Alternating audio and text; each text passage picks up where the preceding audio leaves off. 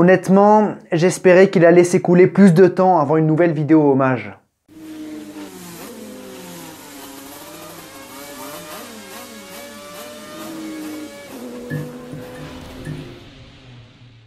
Le sport automobile français est de nouveau endeuillé par la mort d'un de leurs héros. Après Patrick Tambay, après Philippe Streff, c'est Jean-Pierre Jabouille qui nous a quittés. Jean-Pierre était un pionnier, un très bon pilote dont l'histoire est assez mystérieuse pour le grand public. C'est le premier pilote Renault en Formule 1, c'est le premier pilote français vainqueur du Grand Prix de France en F1 et c'est également le premier pilote à gagner avec une voiture turbo. Bref, qu'un pas champion mais victorieux lui soit dédié, c'est totalement normal. Voici Jean-Pierre Jabouille.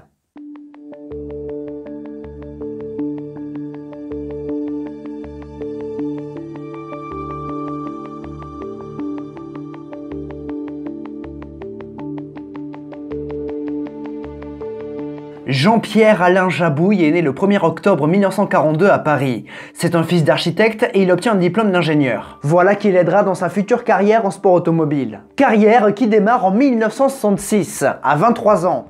Vu d'aujourd'hui, ça fait un petit peu vieux, à l'époque un petit peu moins. Sa première course automobile sera une course de côte au volant d'une berlinette alpine au Mont d'Or. Mais rapidement, il se tourne vers les circuits en coupe Renault 8 Gordini. La coupe Gordini était une catégorie prestigieuse en France, mais en 66, c'était sa première saison. Jean-Pierre est ami avec Jacques Lafitte et c'est avec lui en tant que mécanicien qu'il va démarrer. Mais Jean-Pierre met également les mains dans le cambouis. Il aime ça. Puis en même temps, t'es que deux, euh, t'as pas trop le choix. Les choses sérieuses commencent en 1967 où il démarre en F3 française. Pour sa voiture, il achète à un proche une Brabham. Réalisant de bonnes courses, il rejoint une structure plus grosse qui engage des matras. Il remporte sa première victoire à Reims. Première saison prometteuse, achevée à la cinquième place du championnat. En 68, il poursuit avec Matra, mais il engage à titre personnel, en indépendant. Et il confirme son potentiel en terminant vice-champion derrière François Sever. Remarqué par Alpine Renault, la firme française fait de Jabouille leur pilote.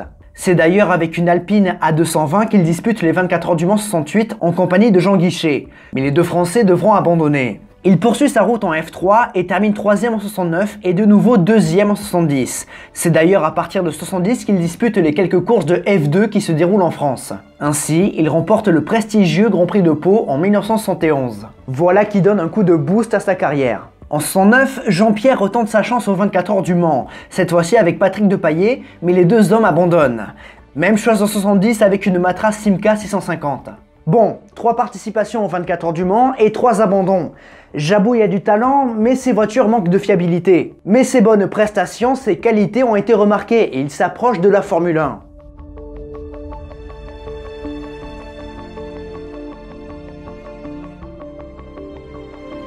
Jean-Pierre dispute en 72 sa première saison complète en F2, mais devinez quoi? Il manque de fiabilité. Il décroche malgré tout un podium en Suède. Aux 24 heures du Mans, toujours avec Matra Simca et en compagnie de David Hobbs, il se dirige vers un podium, mais dans les dernières heures, sa voiture en lame. C'est terrible mais sa persévérance est récompensée. Jean-Pierre décroche la troisième place aux éditions 73 et 74, respectivement avec Jean-Pierre Jossot et François Migaud.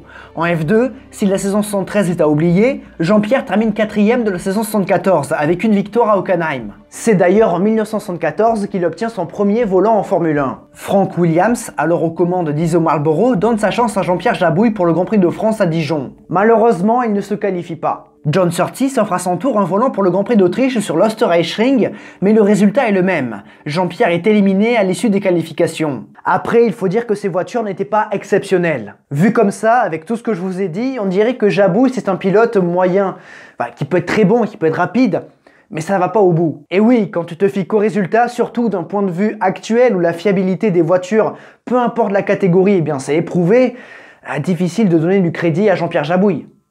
Mais son talent va être récompensé. En 1975, le pilote Alpine Renault va faire une très bonne saison. Cinquième du championnat d'Europe de F2 avec une victoire à Salzburg, il dispute son premier Grand Prix de Formule 1 au Castellet avec la Tyrrell 007. Son sérieux et son bagage technique ont été remarqués et il s'agit de sa première véritable opportunité en Formule 1. Qualifié un peu loin avec le 21e chrono, sa course sera bonne et intelligente.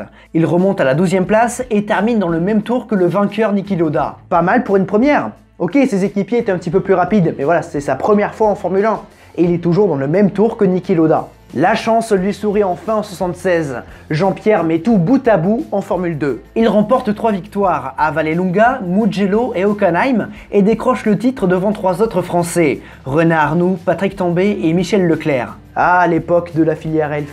De plus, Renault Alpine lui fait confiance pour deux choses. D'une part, les 24 heures du Mans, où Jabouille va confier avec Tambay et Dolem une A442. Mais vous connaissez la musique, la fiabilité n'était pas là. Donc ça, c'était le premier point de confiance. Le deuxième, il se passe en coulisses, le développement d'une Formule 1 à moteur turbo-compressé. C'est bientôt ton tour à toi.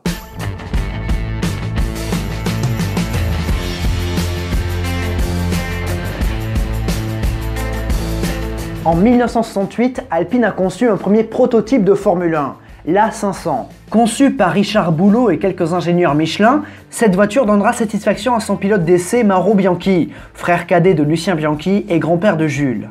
La tenue de route était saine, le châssis était bon, mais Renault a refusé qu'Alpine engage cette voiture en Formule 1.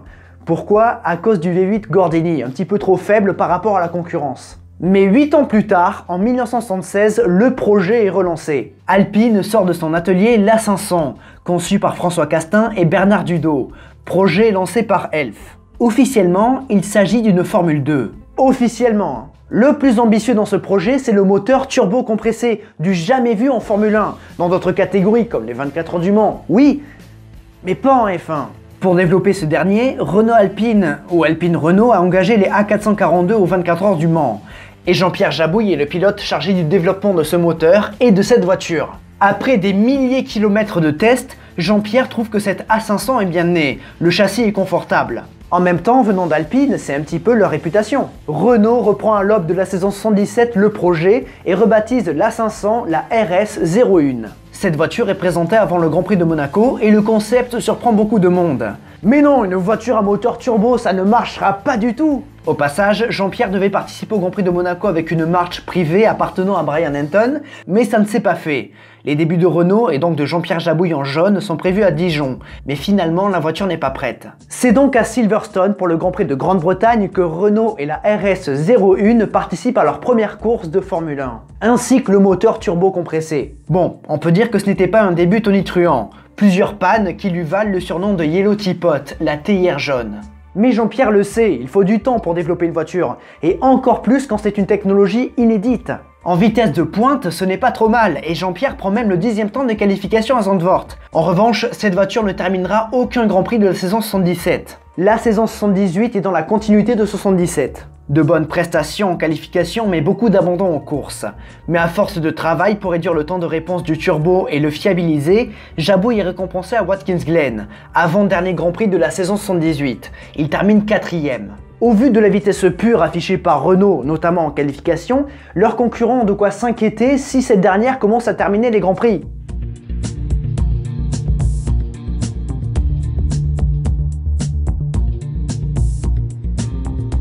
En 79, Jean-Pierre est rejoint par René Arnoux. En fait, Renault engage une deuxième voiture. De plus, la RS01 va bientôt céder sa place à la RS10. Avant l'introduction de cette dernière, Jabouille décroche la pole position à Kialami, circuit très rapide et favorable au turbo. La RS10 arrive en Espagne, mais bon, les deux premières courses sont marquées par des abandons. En revanche, à Dijon pour le Grand Prix de France, Jean-Pierre Jabouille est en pole position. Mais le Parisien est immédiatement dépassé par Gilles Villeneuve qui attaque. Peut-être trop, car la tendance s'inverse à l'avantage de Jabouille à la mi-course. Villeneuve est en difficulté avec ses pneus et Jean-Pierre reprend la tête et s'échappe. Gérard Larousse et tout le garage Renault est en apnée. Ils sont sur le point de remporter leur premier Grand Prix, le Grand Prix de France.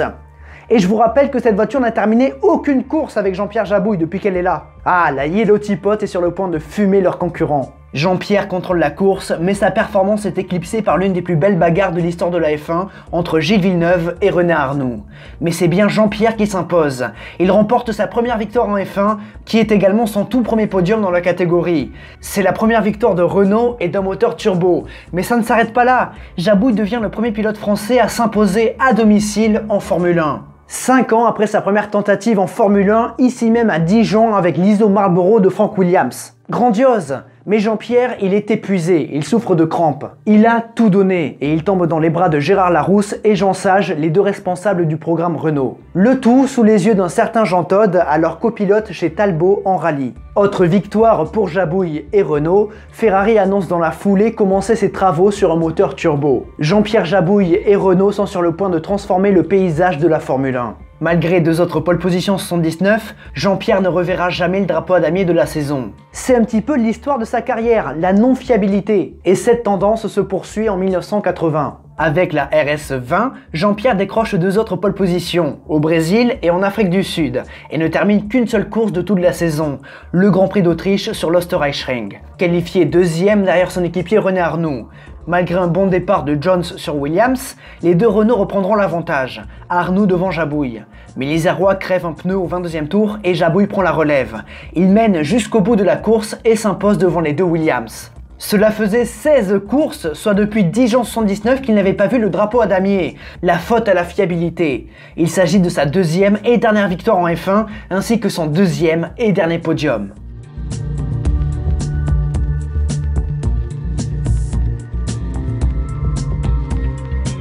Pour 1981, Jean-Pierre Jabouille va devoir laisser sa place au jeune prometteur Alain Prost chez Renault et il ira rejoindre son beau-frère, entre guillemets beau-frère, Jacques Lafitte chez Ligier. Mais au Grand Prix du Canada 80, Jean-Pierre part à la faute et se crache violemment dans le mur de pneus. Sa voiture est pliée et il ne peut sortir de sa Renault. Alors que la course continue autour, Jean-Pierre est blessé aux jambes. Extrait de son habitacle, il subit une transfusion sanguine dans la foulée. En fait, les secouristes sont vraiment brusques. Ils ne font pas attention au pilote, ils le malmènent et ça aggrave ses blessures. D'ailleurs, après ce triste passage, Jean-Pierre Jabouille dira à Jacques Lafitte que si jamais il a un accident, faut qu'il dise aïe. Parce que quand tu dis aïe, ben les secouristes ils arrêtent. Et au moins, ils aggravent pas ton cas. Bref, le bilan de Jean-Pierre est lourd. 7 fractures à la jambe droite et une rotule déplacée à la jambe gauche. La suite de sa carrière est mise entre parenthèses. Guy Ligier lui fait malgré tout confiance après de longs mois de convalescence et Jean-Pierre revient en Formule 1 pour le Grand Prix du Brésil 1981, la deuxième manche de la saison. Mais après les essais et des chronos 3 secondes plus lents que Jarrier, son suppléant, il décide de déclarer forfait. Sa cheville lui fait encore souffrir. Toujours handicapé, il ne parvient pas à se qualifier en Argentine.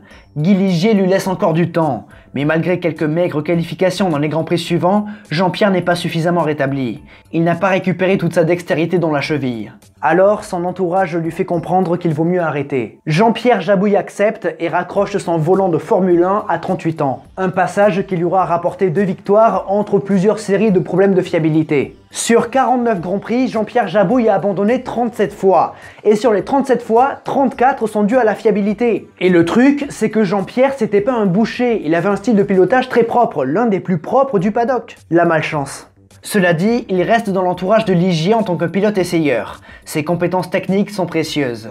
Cela dure plusieurs années. En 84, il participe au Dakar avec son ami Michel Sardou sur une Lada Poch. Ensuite, Jean-Pierre va participer à plusieurs courses du championnat de France de super tourisme, championnat très relevé où il y croise du beau monde. Mais en 1990, à l'âge de 47 ans, Jean-Pierre est approché par un certain Jean Todt, alors président de Peugeot Talbot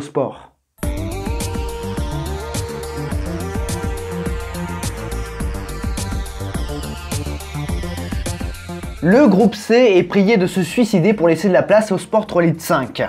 Bernie Eccleston et Jean-Marie Balestre sont désireux de transformer le championnat du monde d'endurance en Formule 1 bis. En partie pour attirer des constructeurs en F1. Si jamais j'en ai fait une série de vidéos en 2022 avant l'édition des 24 heures du Mans. Donc allez voir si ça vous intéresse. Peugeot fait partie des plus fervents supporters de cette nouvelle réglementation et ils lancent leur programme d'endurance avec Jean-Pierre Jabouille comme pilote de développement. Ainsi, Jean-Pierre développe la nouvelle 905. Justement, depuis que Jean-Pierre est arrivé en Formule 1, on a pu parler de ce qu'il a fait aux 24 heures du Mans. On va remonter le temps. En 77, avec l'A442, il a décroché la pole position et mènera la course pendant plus de 12 heures avant de devoir renoncer. Oh mon dieu, mais c'est surprenant En 118, il fait équipe avec Patrick Depaillé, avec qui il mènera la course dans les dernières heures. Avant d'abandonner une nouvelle fois, laissant la victoire à la voiture sœur pilotée par Josso et Pironi qui décroche la première victoire de Renault au Mans. C'était la dernière participation de Jean-Pierre Jabouille à la classique Mancel jusqu'en 1989, année où il a rejoint Sauber Mercedes. Au volant de la redoutable C9, il fait équipe avec Jean-Louis Schlesser et Alain Coudini. Sauber Mercedes réalise le doublé, mais pas avec Jabouille qui termine 5 Et nous arrivons à Peugeot. Jabouille enchaîne les kilomètres en essai privé pour développer la 905. Cette dernière participera aux deux dernières courses de la saison 90. Jean-Pierre Jabouille est aligné aux côtés de Keke Rosberg. Jabouille retrouve le circuit de Montréal sur lequel il s'était blessé en 80, mais Peugeot ne termine pas la course à cause d'un problème de pompe à essence. Et au Mexique, il termine la course, mais à plus de 8 tours des premiers. Bon, normal, comme pour la RS 01, il faut du temps pour développer une voiture. En 91, Peugeot fait donc toute la saison, mais Jabouille ne dispute que les 24 heures du Mans. Mais la marque au Lyon se retire rapidement de l'épreuve, comme l'avait prévu le plan afin de bien préparer 92. Le programme de Jabouille est le même en 92. Il reste en retrait pour développer la voiture et ne participe qu'aux 24 heures du Mans. Et Jean-Pierre, accompagné de Baldi et Alio, termine troisième. Sa troisième, troisième place au Mans. Même chose en 93. Peugeot réalise le triplé avec Jabouille, Alio et Baldi sur la troisième marche. C'était la dernière grande course de Jean-Pierre Jabouille. La catégorie Sport 3 litres 5 ne fait pas long feu. Les coûts sont trop élevés, les grilles de départ ont été désertées, L'endurance a failli crever. Peugeot ne sera plus en endurance après 93 et on ne verra jamais en course la 905 Supercopter. Jean-Pierre Jabouille est l'un des seuls pilotes à avoir roulé cette voiture à la fois mythique et mystérieuse. Les prouesses de Jean Todt à la tête de Peugeot Talbot Sport ont attiré les regards de Ferrari et le français s'en va diriger la Scuderia. Et c'est Jean-Pierre Jabouille qui devient son successeur. Ainsi, il supervise l'arrivée et l'exploitation des moteurs Peugeot en Formule 1. Cela se fait dès 1994 avec McLaren. En tant que patron de Peugeot Sport, Jabouille décroche 8 podiums avec McLaren, mais l'écurie de Ron Dennis préféra les moteurs Mercedes pour 95.